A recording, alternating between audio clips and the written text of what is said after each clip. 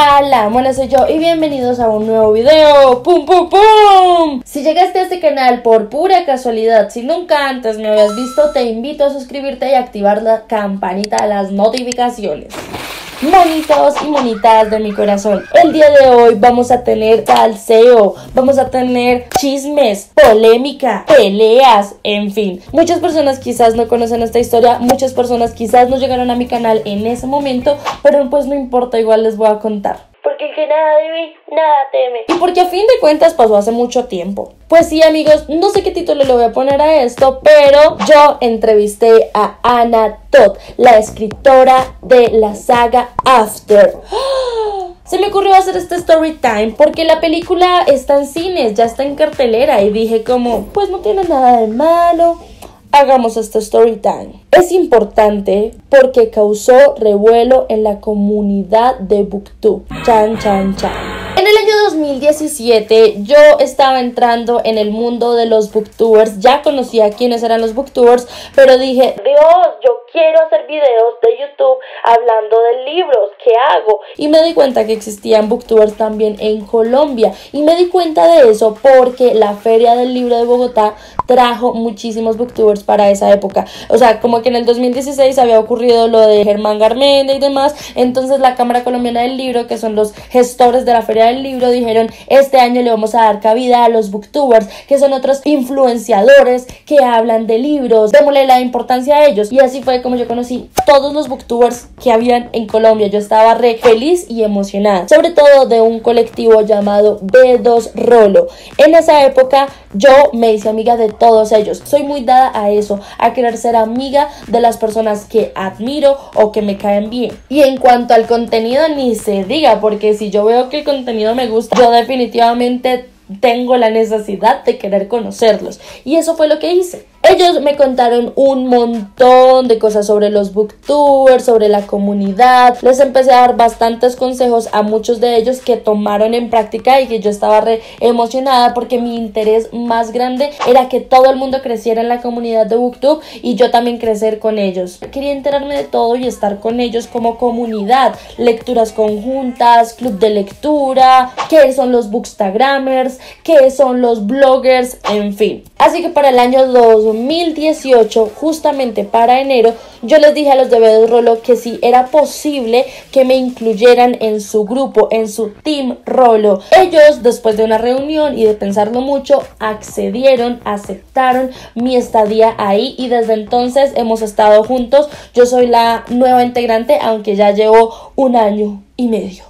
La cosa fue que listo, yo entré ahí y como entré con ellos, pues empezamos a darle mucha movida a todos los proyectos que tenían para la feria del libro. Ellos son un grupo de jóvenes que también quiere promover la lectura a través de las redes sociales, así que tuvimos que pasar bastantes propuestas. Entre ellos teníamos el Rolo VIP, que este año le cambiamos el nombre a hashtag Todos Somos Lectores. Tenemos también los premios ProLead y tenemos eh, otros eventos y otras charlas durante la feria. Una de las actividades que tiene la Filbo para las personas son las charlas o las presentaciones de libros con los autores. Escogen a una persona para que tenga el libro, lea el libro, eh, si es fanática pues muchísimo mejor también y va y hace la entrevista y va y hace la propuesta y ya está. Cuando nosotros fuimos a una de las reuniones con la cámara, ellos dijeron, no, pues nosotros tenemos estos autores, entonces pueden ustedes también entrevistarlos a ellos, podemos darle la oportunidad a otros booktubers y tenemos a una escritora que se llama Anna Todd que escribió After. Tenemos una candidata para esto, pero te queríamos también proponer a ti, Lucía, de La Mona Soy Yo, si querías entrevistarla. Yo fui muy honesta y todos los de Rolo fueron muy honestos y les dijimos, yo no he leído After. Sé que existe, sé quién es la autora, pero yo no he leído la historia y no soy fanática. La otra persona que estaba postulada sí era una fanática real de After, o sea, había leído todos sus libros y le encantaba y demás, le encantaba la historia, yo francamente no. Entonces ella me dijo, ok, pues no importa, si no has leído los libros, pues también puede ser una opción, estarías haciendo la entrevista o estarías haciendo la presentación del libro de una manera mucho más objetiva y no como una fan.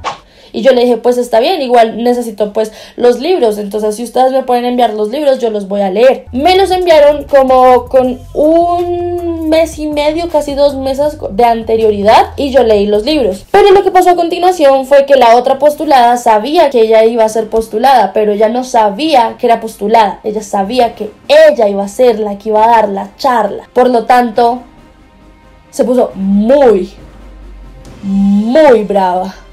Uf. Fue una pelea enorme. Yo lo único que iba a hacer era leer unos libros y entrevistar a Ana Todd. Pero por infortunio yo nunca tuve la oportunidad de hablar con la otra persona y la otra persona nunca se acercó a mí a decir, hey, qué pedo, qué es lo que está pasando, como así que me quitaste mi charla, era mía, ¿qué es esto? Tú ni siquiera has leído After, tú no eres fanática, ¿por qué te van a dar esa charla a ti? A mí nunca me dijeron eso. Nadie, jamás.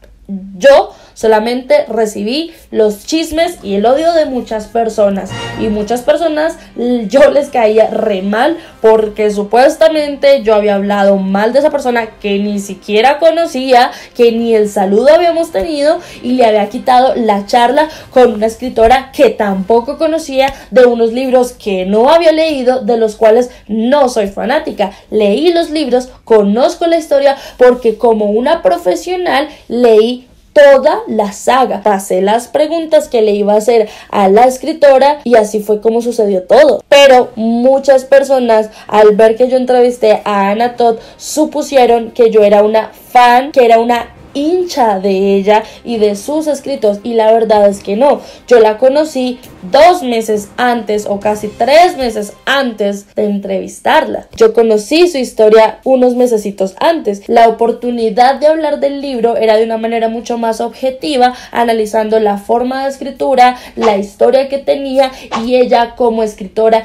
qué tal había recibido las críticas. Aparte que hablamos, por supuesto, de la adaptación a la película. Toda esta entrevista está en YouTube, está en Canal Capital. Por aquí les voy a dejar algunas escenas. Eh, mi mamá siempre ha estado ahí, pero no es realmente una mamá para mí, pero entre más crezco, más la entiendo y tenemos que acordarnos que los papás son solamente seres humanos y a veces eh, eh, tuvieron hijos sin necesariamente quererlo. Entendí que tenía problemas y si yo la sigo odiando va a tomar mucho espacio en mi alma. ¿Tú crees que quizás alguno de esos conflictos que tuviste en tu vida los quisiste plasmar en los libros?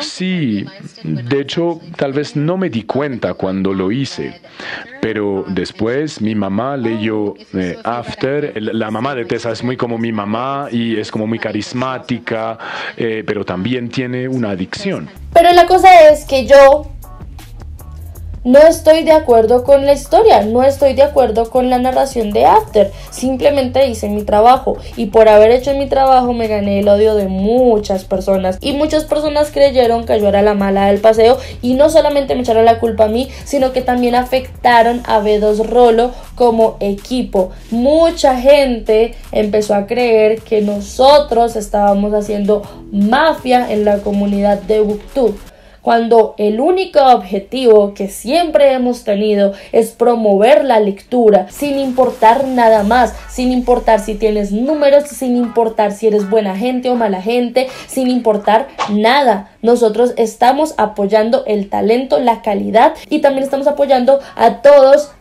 aquellos promotores de lectura en Internet. Por eso nos esforzamos, por eso nos reunimos un montón de tiempo, por lo menos unos siete meses antes de la feria del libro del próximo año y empezamos a hacer propuestas, empezamos a hacer ideas. Por hacer eso, somos unos mafiosos, somos una rosca. Mm, no, eso no es así nosotros le damos la oportunidad a todo el mundo. Y si a nosotros nos ofrecen más charlas, no las hacemos todas nosotros. También le damos la oportunidad a los demás. Nosotros no queremos monopolizar la comunidad ni los eventos. Esa es la puritica verdad. Esa es la realidad de la situación. Eso ocurrió el año pasado, eh, dejó un sinsabor en muchas personas, dejó mal heridas, pero la vida sigue y no nos podemos estancar, no podemos quedarnos ahí, que tenemos que seguir adelante, tenemos que seguir haciendo contenido, tenemos que seguir promoviendo la lectura. Esa es la idea. Las riñas y las envidias se lo dejamos a personas que no son capaces de enfrentarlo o de hablarlo. Ojalá la persona que se sintió disgustada porque yo le quité la charla se diera la oportunidad de hablar conmigo y de decirme las cosas en la cara de lo que piensa y de lo que siente. Lo que hay que hacer es trabajar y brillar por uno mismo sin apagar el brillo de los demás. Espero que les haya gustado el chisme, espero que les haya gustado este salseo para que se den cuenta que la comunidad de Booktube también tiene full polémicas. No olviden seguirme en todas mis redes sociales como arroba la mona soy yo. Y chao, chaito, chao. Tengan lindos y maravillosos días. Bye.